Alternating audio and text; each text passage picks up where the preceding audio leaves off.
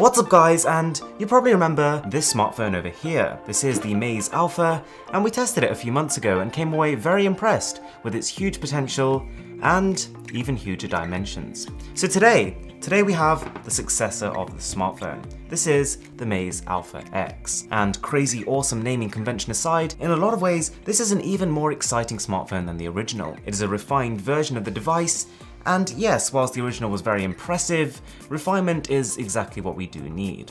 So let's crack it open and see what we got. Okay, so the outer packaging itself to look at is pretty middle of the line. It doesn't feel super high end, but it's not bad either. It has noticeably got a completely different form factor to the packaging of the original Alpha, not necessarily a bad thing. Sliding the main compartment out, the first thing you're going to see is the smartphone packaged in a protective plastic layer.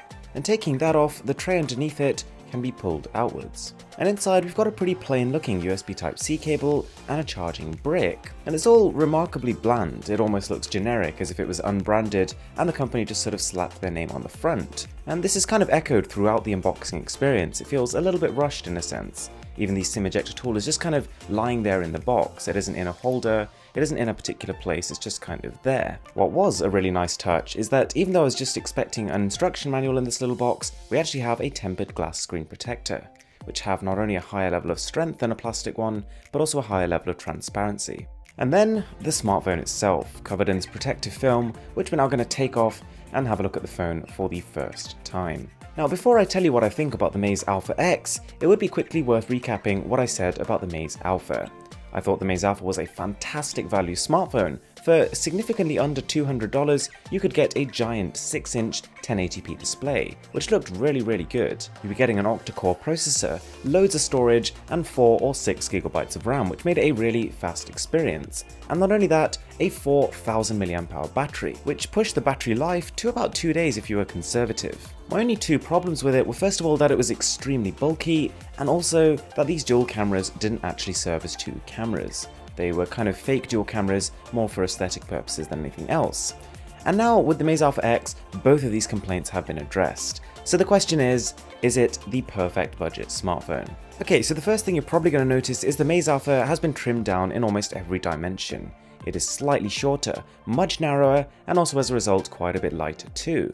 Don't get me wrong, it's still a very much heavy smartphone at over 200 grams, but the combination of these factors does make it noticeably more comfortable to hold. Furthermore, whilst the original Maze Alpha has a plain black glass finish, which did feel pretty great, it has been revamped here. It's been given a reflective coat of paint, which doesn't dramatically change how the phone looks or feels on a day-to-day -day basis, but it's a nice touch. Now, Maze Mobile did also claim that this phone has some sort of extra resistance against fingerprints. That I did not find during my testing. Alright, moving on to something perhaps even more interesting. While side by side, the Alpha X is so much smaller than the original Alpha that it looks like the phone's younger brother, they both actually share the same 6-inch display size, but the Alpha X pulls ahead in two ways. It is a taller, narrower 18 to 9 aspect ratio, and it has a slightly higher resolution. And whilst both devices have a similarly sized bezel going around all three sides, the chin of the phone has been significantly reduced, giving the new phone a screen to body ratio of just under 80%, which is pretty good. It doesn't quite hit the upper echelons reached by the Xiaomi Mi Mix 2 for example, but it's close enough to still look impressive. Now here's something you've probably never seen before. Whilst the original Maze Alpha sported a dual camera setup, its successor, the Alpha X, actually only has a single camera. But this makes a lot of sense. First of all and primarily because the dual camera on the Maze Alpha was not actually a dual camera.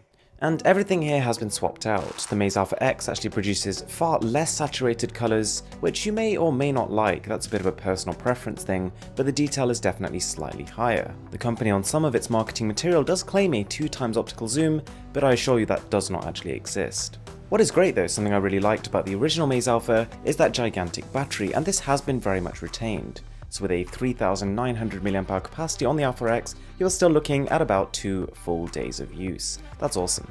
Okay, so you're probably aware with a lot of smartphones that these three on-screen navigation buttons do significantly tear into your screen real estate. Now a lot of phones which have front-facing fingerprint scanners will get around this by allowing the fingerprint scanner to act as your back, menu and your home button. One thing in the software here that I found just completely bizarre was the fact that you can only ever enable two of those commands at any one time, which means that you actually have to have the navigation bar at the same time as that home button. The Alpha X brings some other changes as well. For example, the original Alpha had flat corners, whereas they are now curved.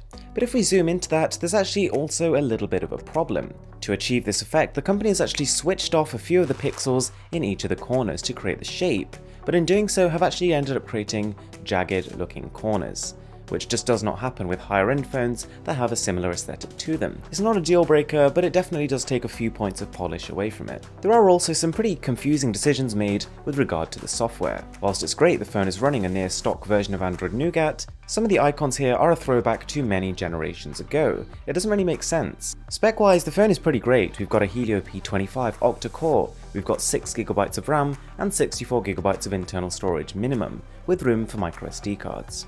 So that's the Maze Alpha X, a phone that takes you in a lot of different directions, but at the same time as being quite incohesive, it is still nonetheless impressive. The company has somewhat addressed the issues present in the original Maze Alpha, and for that it should be credited. But at the same time, it's still not a perfect phone, and it introduces a couple of issues on its own.